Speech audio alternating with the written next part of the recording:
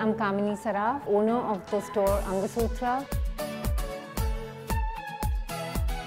We stock some of the best labels in the country, from the biggest uh, maverick in Indian fashion, from Rohit Bal, Abu Sandeep, Manish Malhotra, Varun Bahl, Neeta Lulla, Payal Singhal, Anand Kabra, and the list goes on. It's all Indian clothes with a twist.